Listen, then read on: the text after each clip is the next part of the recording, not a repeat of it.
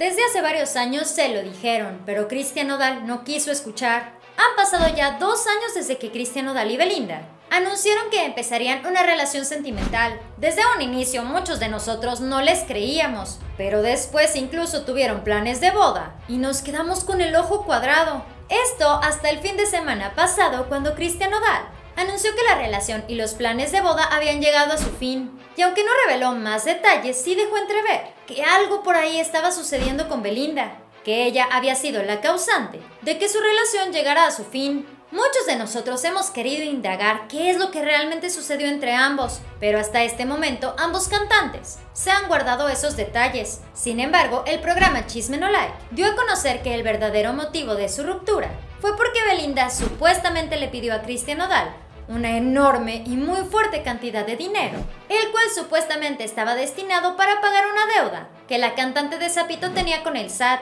Lo malo fue que los representantes legales de Cristian Nodal se dieron cuenta que Belinda únicamente debía 500 mil y no los 4 millones que Belinda pedía. El dinero restante al parecer era para pagar una deuda que Belinda tenía pero con la casa que Lupillo Rivera le regaló. Cristian Nodal, después de anunciar su ruptura con Belinda a través de su cuenta de Instagram, se fue a Twitter a decir que estaba bastante decepcionado con lo que había sucedido. De hecho, en un mensaje, Cristian Nodal le respondió a una fan. Ese es el problema, ustedes nomás piensan en números, en belleza física. ¿Y cuál darme a conocer si ya era el artista más escuchado de México y charteado globalmente? Y sigan hablando mierda. Y a ver después cómo defienden a su artista. Quédense con lo bonito, último aviso.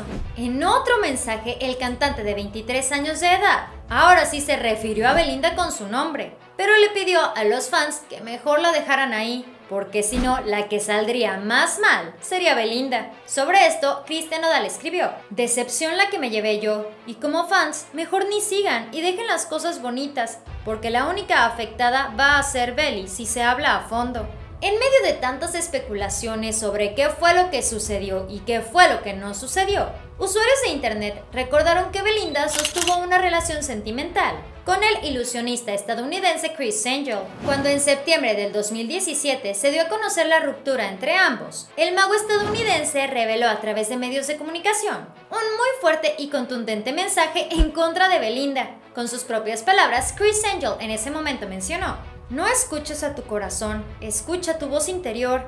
Debí haberla escuchado. El amor no llega con un precio. La honestidad siempre debe de estar. Esa lección me costó millones que enriquecieron a una verdadera maestra del engaño. ¿Qué fue lo que pasó en esa relación para que Chris Angel se refiera a Belinda de esa forma? Obviamente nunca se supo qué fue lo que pasó entre ambos. Pero ahora que Cristian Nodal y Belinda terminaron y que se ha mencionado esa cuestión de dinero, las palabras del ilusionista están por todo el internet. Este fue el Muro de la Fama. Dale like a este video, suscríbete y síguenos en Facebook. Pero antes de que te vayas, ¿qué te parece si checas este siguiente video? Espero que tengas un excelente día. Nos vemos muy pronto. Bye.